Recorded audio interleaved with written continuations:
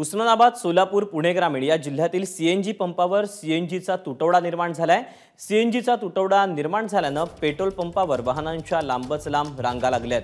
लोक सीएनजी पंपावर चक्क झोपत असल्याचं चित्र उस्मानाबादमध्ये पाहायला मिळतंय.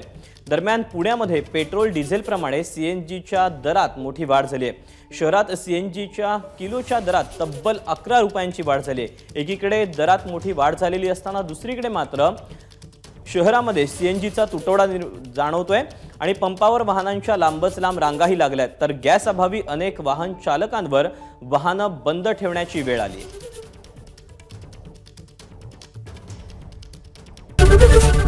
एबीपी माझा.